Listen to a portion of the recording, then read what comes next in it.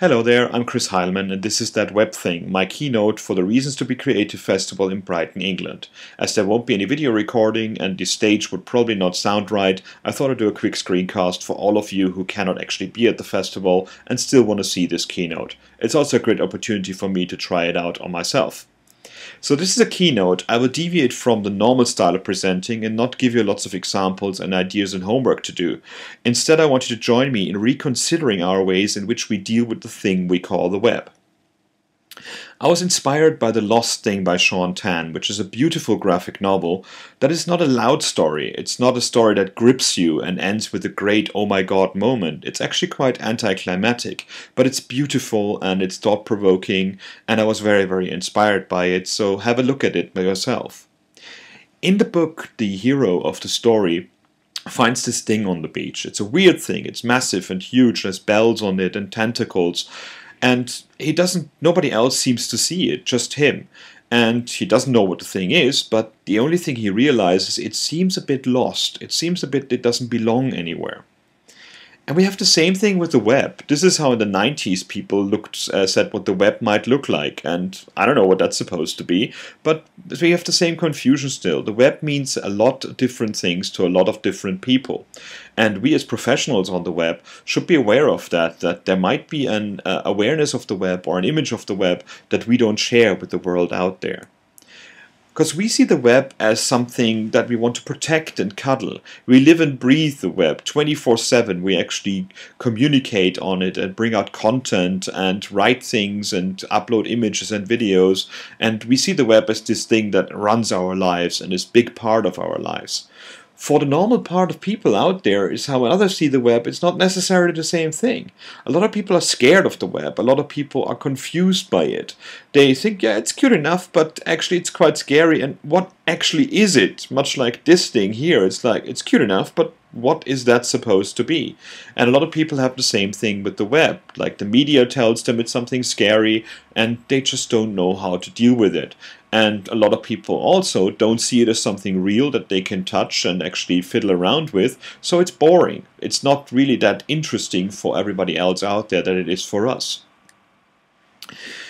And that's that brings us to quality, and an interesting piece of quality. So this is a website that I got sent in a mailing list the other day with the question of what do we think of it. As a professional, design-savvy developer, this is actually brutal. This is an eyesore.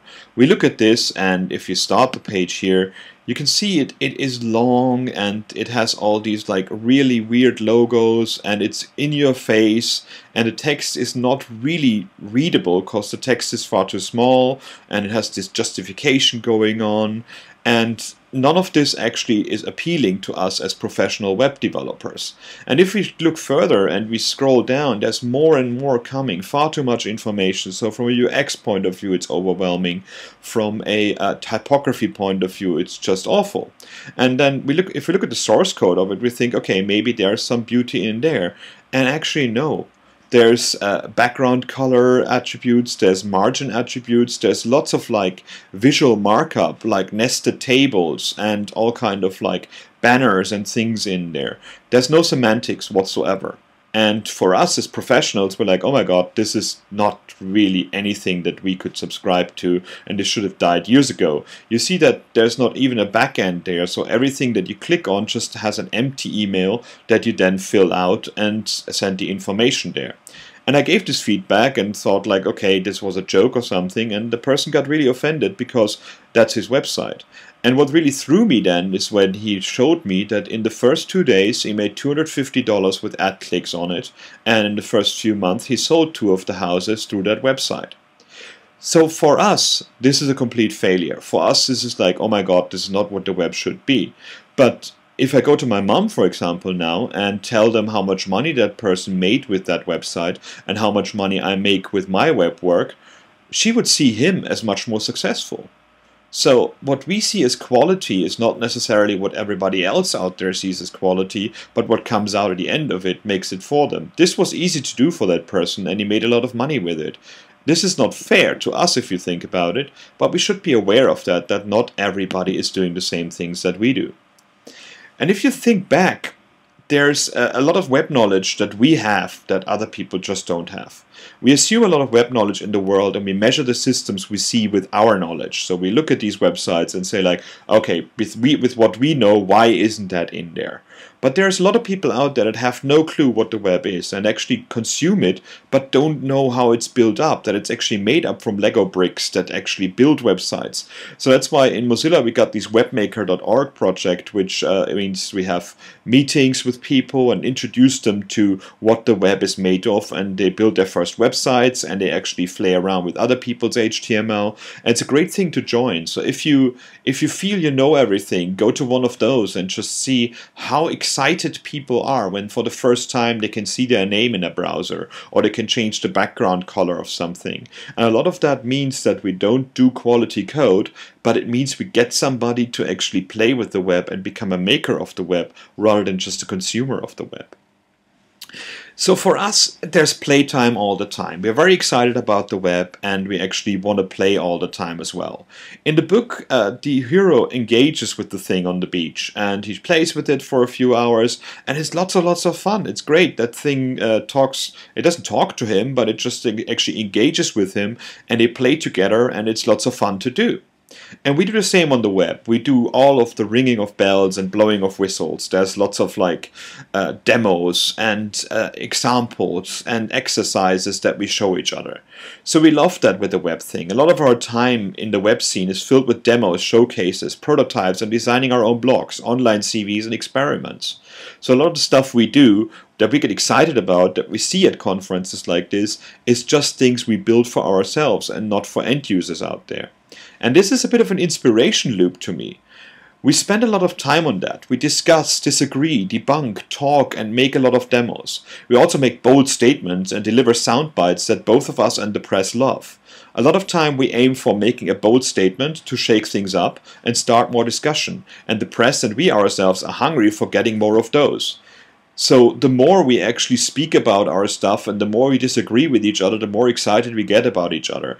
But the outside world doesn't even understand what we're doing here. And if the thing is just an example, if it's just an exercise or a demo out there, we shouldn't spend too much time on making demos and comparing them with each other and seeing which one is faster and better if in the end no products come out of it. So in the book, there's an end of playtime as well. At the end of the day, he realizes out of a sudden nobody comes to claim that thing. And you just can't leave it on the beach overnight, so it's such a great thing. Why does nobody come to claim it? Why does nobody say, hey, it should come home with me? And in our world, this is always when the sentence in the real world comes. You know, you have discussions on mailing lists and things, and people talk about all these great new tricks in CSS that they can do. And then somebody would stand up and say, well, in the real world, we can't use that. Our clients won't support this, and so on and so forth. And it always cracks me up because it's uh, that real world is the thing we should focus on from the very, very start. So in the book, uh, the hero takes the thing home and actually introduces it to his parents and then hides it in the shed and actually wants to learn more about it and realizes you can't just leave it out on the beach and when nobody claims it and it just feels lonely. So he brings it home and shows it to his friends and asks him, what do you think that thing is? And the friends just analyze it and look at it and come out like, you know what, I don't know, it just feels like a lost thing to me. We should do the same with the web. The web is ours. We are the people who build it and we create wonderful things with it. We have to give it 100% if we want to be professional about it.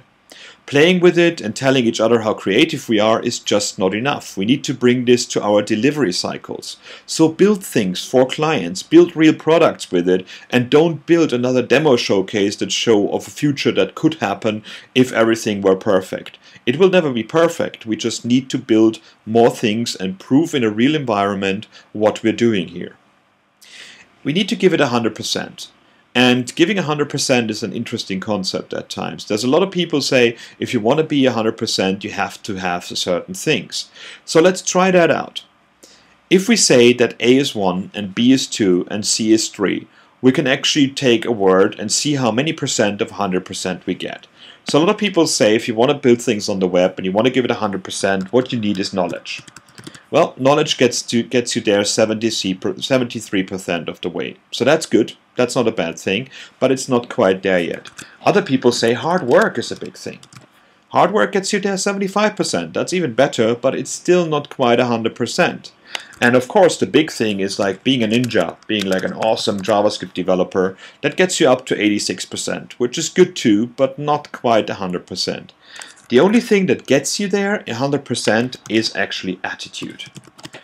And that's an interesting concept if you think about it, because there's good attitudes and there's attitudes for the sake of attitudes.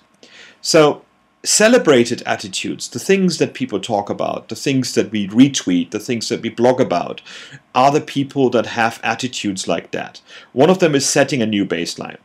Everybody has X or Y these days. So a lot of people out there say, okay, everybody has a Retina display iPad 3, so why should we bother supporting old browsers, or why should we support things that don't have Retina displays out there? If that's true, I don't think so, but it's an interesting concept to make, and it's it's it's something we want to achieve. We want to have that. So having an attitude like everybody has this, and all who is not on my uh, or doesn't believe the same things is actually someone of the past will get you a lot of applause and will cause a lot of uh, retweets and blogging and all kind of things. Being clever and innovative is another attitude that people cherish. Like, I try something out that nobody has done before. That's totally flaky and flawed and a, a, a stupid idea if you if you shine a big light on it. But look what I can do. So that's uh, the cleverness of it is more important than the usefulness of it. Another attitude is to do things because they can be done. And you see a lot of that in syntax, like people, oh, I don't have to use a semicolon at the end of every line in my JavaScript because modern browsers do that anyways for me, so I can save that one character there. That's an attitude, but I don't know if it makes any sense. But the attitude will definitely get, get you a lot of uh, feedback and a lot of coverage. Assuming a perfect audience is another one that happens all the time. Like good code explains itself. We don't have to have a documentation. Everybody knows what I'm doing here. I'm just the one who writes that library and everybody else could do it as well. Okay, that's an attitude to have. If it makes sense, I'm not sure about. And the other one is control. With this plugin, we can finally have kerning for each letter. A lot of the things we do in the design community is giving us control that the web doesn't give us and we're faking it a lot and it's interesting that we're craving that control but it does not necessarily mean that we build something out of it afterwards other attitudes, which I actually approve more of, are future-proof attitudes. So one of them is designing for use. Like, no, we don't need another showcase. We don't need another demo. You don't need to redesign your blog. You have to find cool new things and great new solutions with use for clients out there. If there is a real client need that you can actually build something creative around, you're winning and everybody's winning because you have something out on the web that makes sense rather than something that was built to impress other people about our design skills. Enhancing progressively. Think of an escalator versus a lift. Like an escalator, when it breaks down, it becomes stairs. You can still walk up to the other level. It's not as convenient, it's not as beautiful, but it's still a piece of stairs. You can go up there.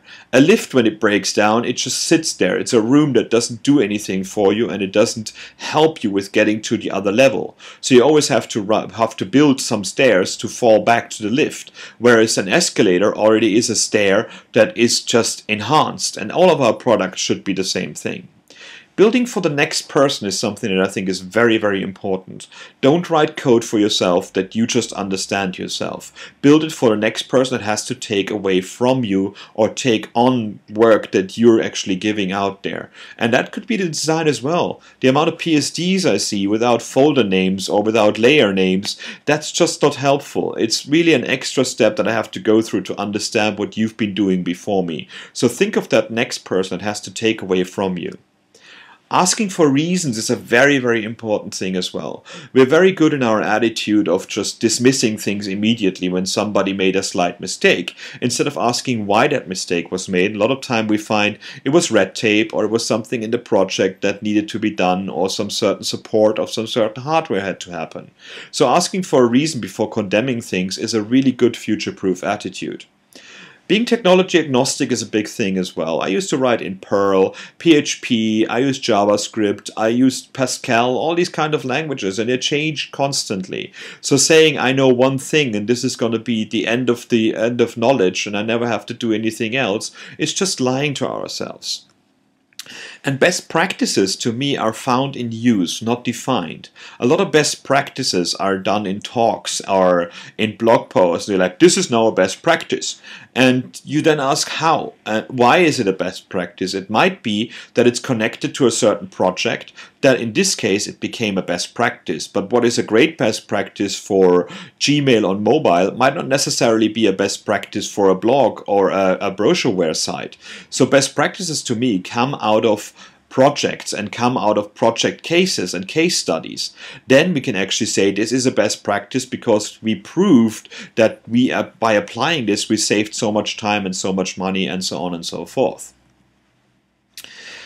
So in the book, he takes it home and he nurtures the thing a bit, and he wants to find out what it eats, and he doesn't know much. So in the end, it turns out to be Christmas decorations that the thing eats, which is just weird. But sometimes you have to try out things. And that is also the same on the web. Sometimes we have to follow an unhealthy diet. Yes, I'm talking about Flash and Silverlight. Sometimes we need to use these technologies to bridge a gap that native technology doesn't have yet or it doesn't come in browsers. Or if we want to support browsers that don't have these cool new things, we sometimes have to use one of these evil, evil plugin technologies. The point here is not that we condemn the technology for being evil, but we actually find use cases and ways to use that technology with these technologies and then seamlessly go into the new technologies when they are available in newer browsers or better environments. So again, we focus on the use case of it rather than focusing on the technology implementation of it. A great example of that is WebRTC now. WebRTC will allow us to actually uh, get streaming video from a camera in the browser.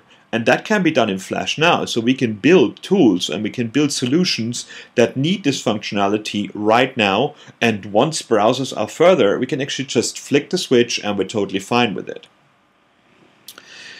in the book, he tries to actually find somebody in the end who actually would take on that thing for him. And he finds this poster by the government that actually tells him that there's a government agency dealing with lost things and he tries to deliver it there. The problem is when he delivers it there, there's a total lack of understanding the uh, he tries to bring it there. They ask him to fill out a new a lot of forms, and he just does. It doesn't feel right. He just wants to put the thing there, and nobody seems to want to take it on. They just say, "Oh yeah, we we take things on here, and don't worry about them anymore." So it just doesn't feel right for him to do that. But we do that on the web as well. A big thing that we always shout is like, someone should do something. Like, oh, we don't have forms that work across all the browsers. So the W3C should do something, or the browser makers should do something. Somebody should do something. Well, we are the ones who use that things, use these things, and we need these things. So why are we the ones that say somebody else should fight that fight for us, rather than us standing up and doing that? And it's actually worse than that, because what we really do uh, instead is we abstract things constantly. We write preprocessors, we write shims, we write polyfills, we write libraries, we write jQuery plugins for every single edge use case that we found once. And we feel good about releasing these things. We feel great because we think we released something that makes it better for everybody out there and allows us to deliver faster. The thing though is, how many of these things really get used? And it's okay if they fill a hole, if they actually means, if they, they, they solve a problem that in different browsers implementations are different, but they don't fill a hole and they don't really fill, uh, build a solution around these things when they make us dependent on some different syntax that we didn't have before. So we should not replace the standards that are in the uh, in the browsers and are not really supported yet or are still in flux with something that we just use instead of actually fixing the underlying issue. Because instead, you should play with the players. I mean, this is here my little my little browser ponies. Browsers are not the scary things on the past that nobody can touch, that are owned by some evil corporation that just does things that hates developers. All the browser makers actually are developers now, and we all understand the web, and we learn a lot from things like jQuery, we learn a lot of things like CSS preprocessors. But the point is, if you really want to make a change, if you really want to make this world better for us as developers, you have to talk to browser makers and the standards bodies. That means participating in mailing lists, this means filing bugs and not building a JavaScript library that works around the issue rather than fixing the underlying issue because you will get bored of your JavaScript library and you will not maintain it in a year's time. The browser makers will maintain their browser in a year's time and make it better for everybody out there. In essence, this means that we should go outside of our uh, comfort zone. We, we, we it, the magic happens outside of our comfort zone. So instead of talking to each other and impressing each other with demos and with libraries that solve every problem on this planet, we actually should start talking to developers of browsers. We should start talking to real clients what they want and try to put the magic of what we do in demos and experiments inside real products rather than building yet another demo out there. A great example of this has happened lately. So this is a library called uh, Photon. And Photon got released and it's basically CSS 3D transformations with uh, light sourcing on them. So this looks beautiful and I saw it for the first time and I'm like, this is gorgeous but also really pointless. It's just invent reinventing Flash the other thing that we have is Mozilla Popcorn. Mozilla Popcorn is a JavaScript library to actually help you control web content around a video with a video. So it actually gives you this timeline style interface that Flash had to actually say at a certain second of the video, this should happen and it has a it's a JavaScript library, but it also has this editor that you can play with to actually connect parts of the timeline of the video with HTML or uh, other things in the page around it. So this can be done in in plain old JavaScript, but the the library makes it much easier.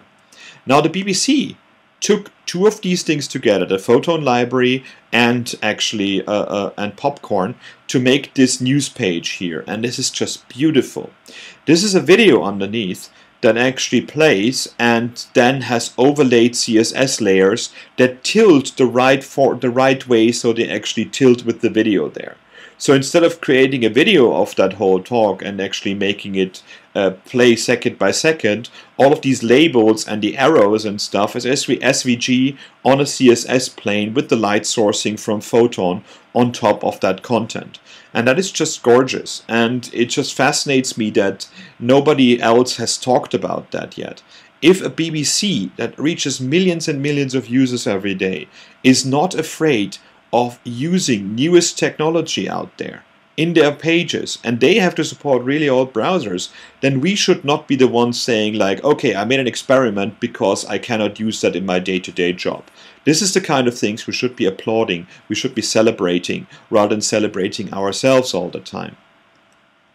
It also shows one thing, that open should not mean harder a lot of open source solutions and a lot of open technology solutions are much, much harder to use than closed technology. And this is not how we're going to win that fight.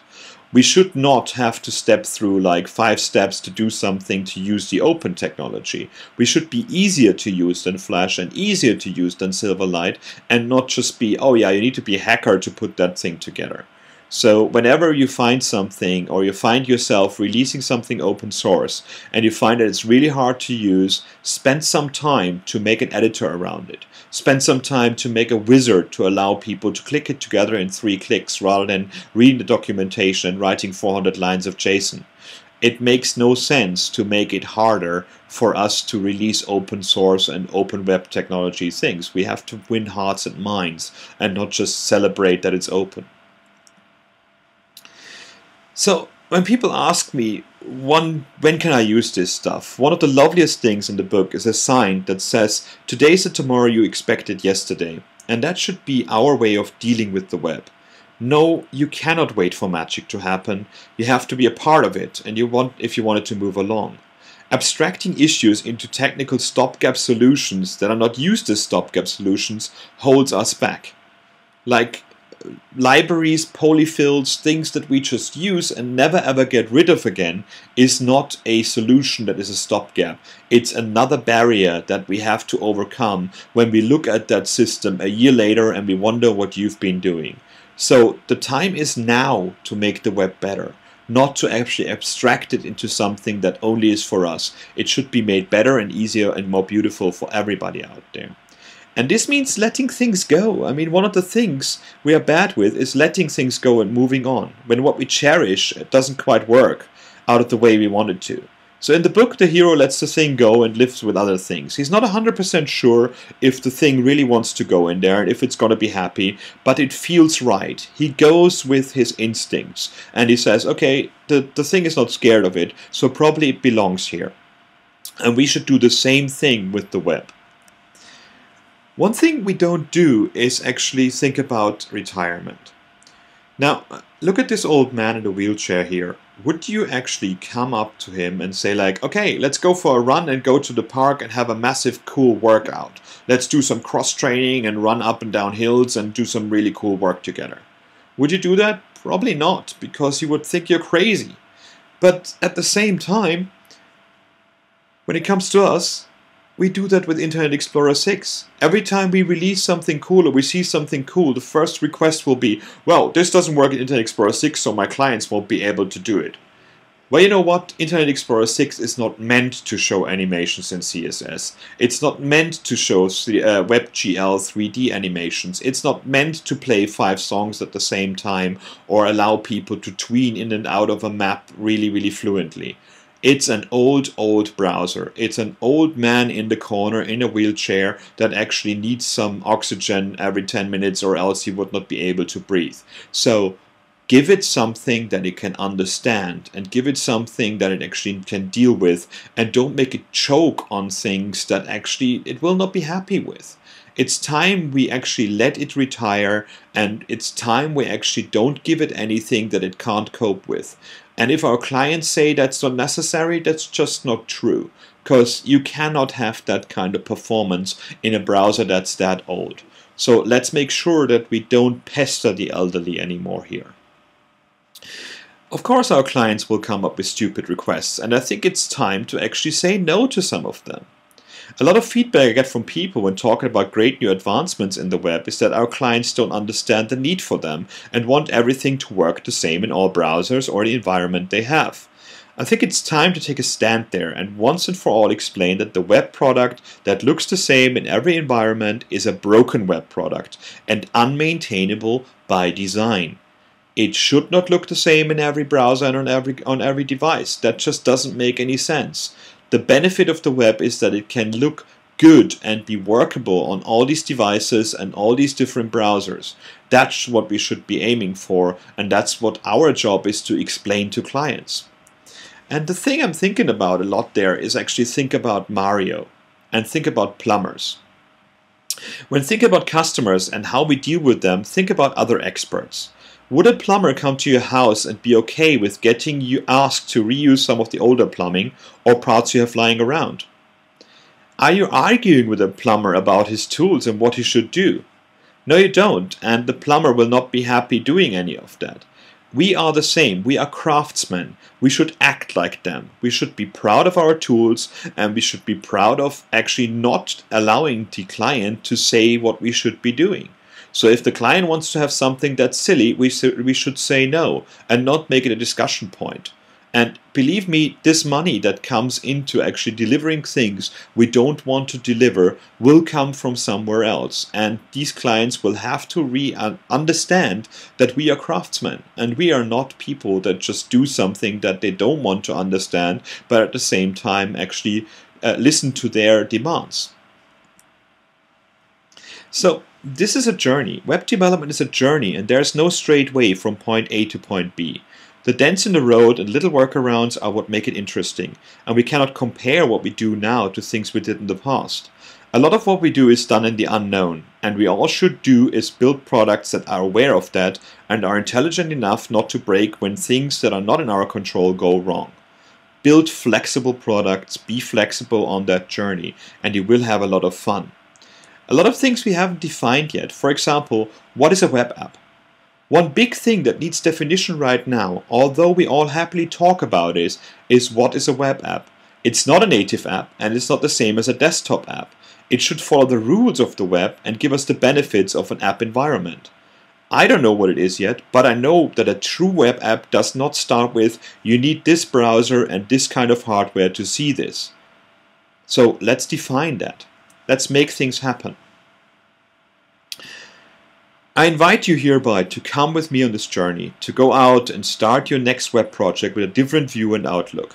You can create amazing stuff. You just need to free yourself from the idea of being able to control everything and tell users what to do.